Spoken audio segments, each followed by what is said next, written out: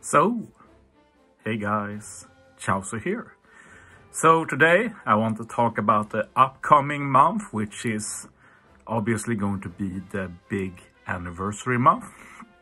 And we're going to talk about a theory here, which is that anniversary month won't look the same as it usually do and as every month do, because as you know, nowadays every month has first a point event with end of the month batch, then we move into Grand Party PvP finals, then we move on to Treasure Map, then Kizuna, and during the Kizuna, before the month ends, we get the next month's end of month batch.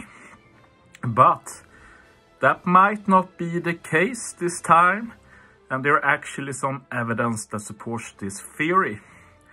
And that will actually be a bombshell, at least for me personally, because I've been playing OPTC since the Stampede days on Global. And every single month, at the end of the month, we got the traditional end of month batch. Doesn't matter what it is, even during anniversary, they make it super stressful. Like no time between the events, rush to get to the end of the month, then they drop the new filler batch. But as said, might not be the case. Let's start from the beginning and we'll start by going through a post that uh, Fate of Muffins made on Reddit. Shoutouts to him. He always gives great info.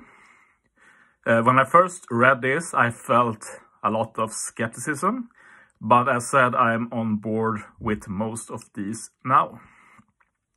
So let's just recap the timeline that Fate of Muffins suggests here. And he starts by bringing up that at any time now, we can get the big update announcement, and I'm totally on board with that. As he writes, last two years, we had big updates around this date. Personally, I think it will be announced once we leave the maintenance after the trash map that is scheduled. Makes sense for me to announce the big update then.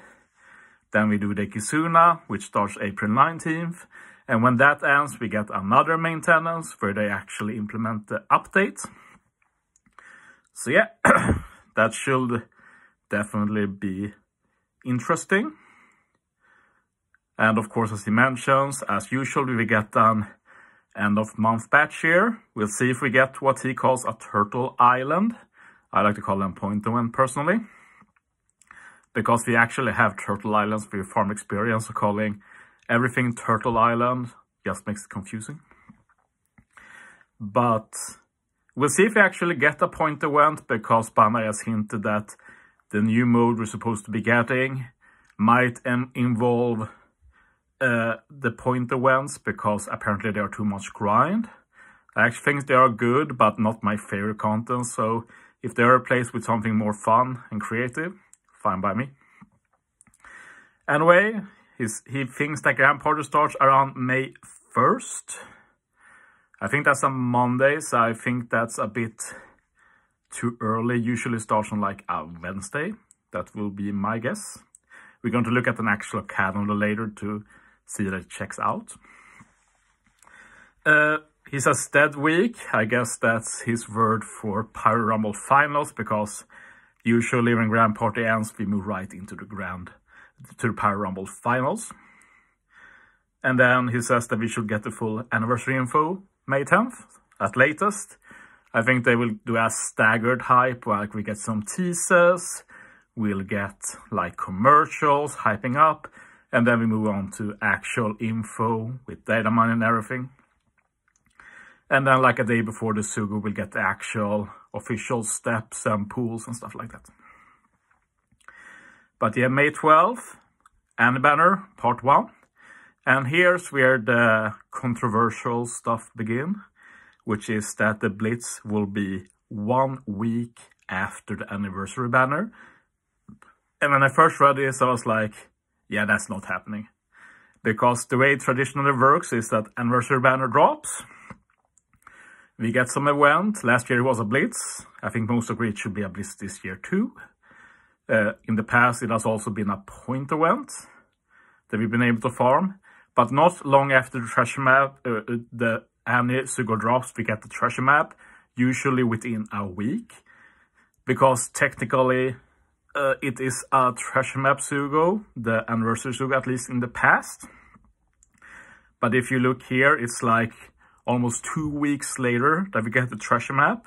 So if this is actually true, it might mean we actually get a treasure map Sugo during anniversary. We'll see if they get greedy enough to do that. Hard to say right now. And then a week after treasure map, we of course get the Kizuna. And that's the literally last day of May. And if you know how end of month batches work, they usually drop like midway through Kizuna. Will be very weird to drop an end of a month batch the same day the Kizuna starts. And he, then he also mentions the Film Red Blu-ray release. I definitely think they do something for that.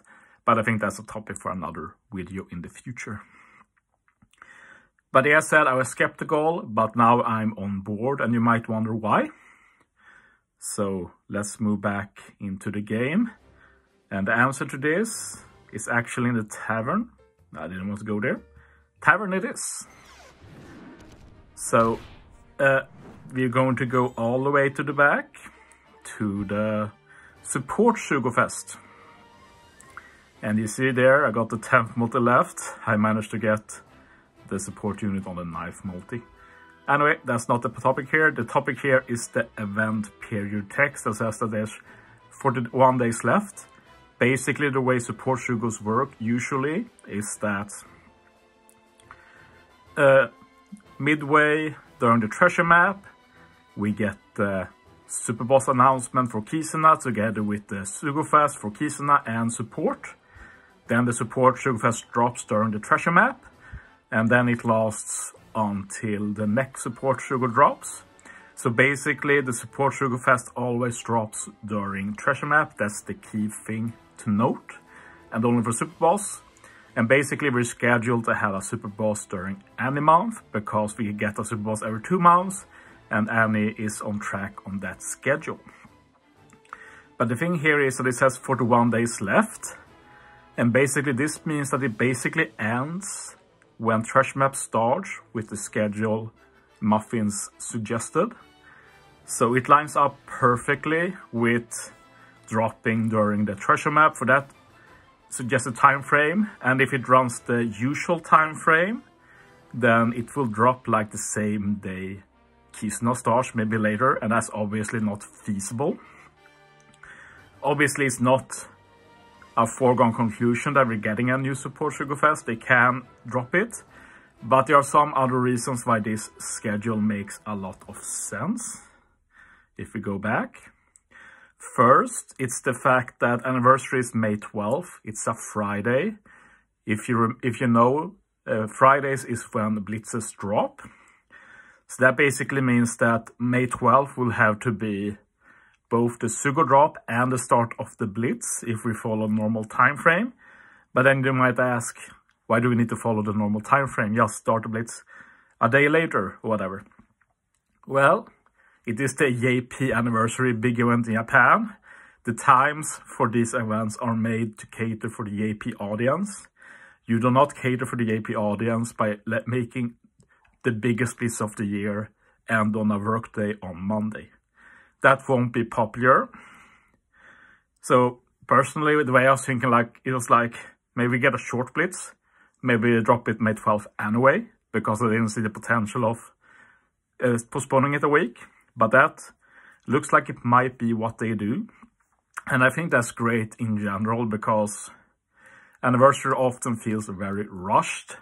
Like you get the Sugo, like a day or two later, bam, we had a Blitz. A day or two later after Blitz, bam, Trash map. Uh, they are true light of Trash map, bam, super boss Kizuna. But now we have like a full week of the Sugofest, the different parts. We'll probably get some kind of point event or the like, where we farm some unique item.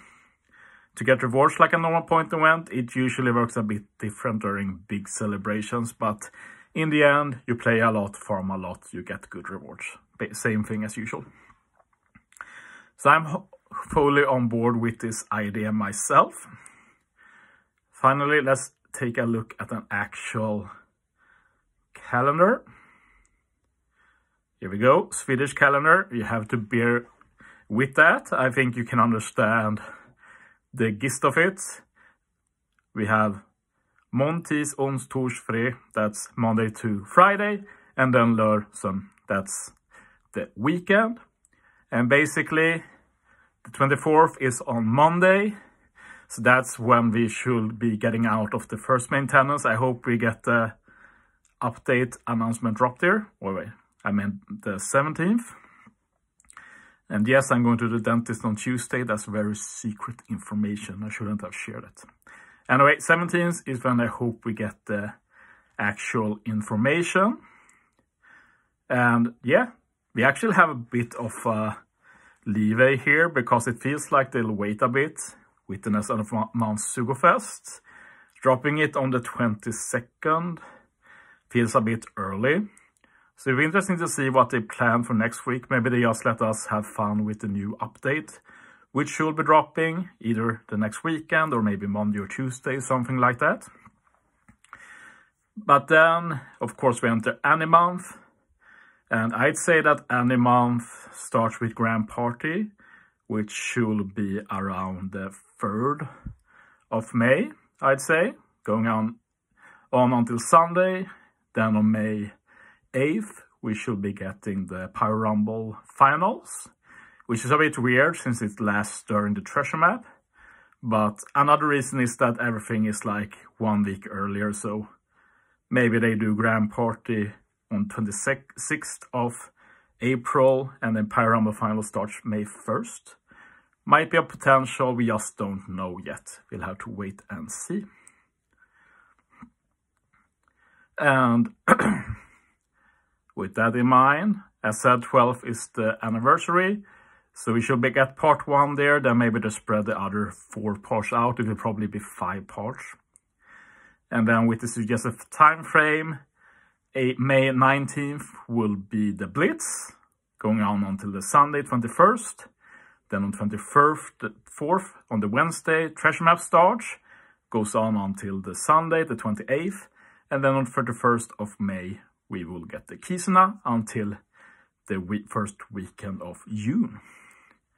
So I, I actually think that's what will happen, but obviously not confirmed. Will be very interesting to see how they do it. And I definitely think Anniversary will benefit from a bit slower pace than usual. But yeah, that's it for this video. Thanks for watching, guys.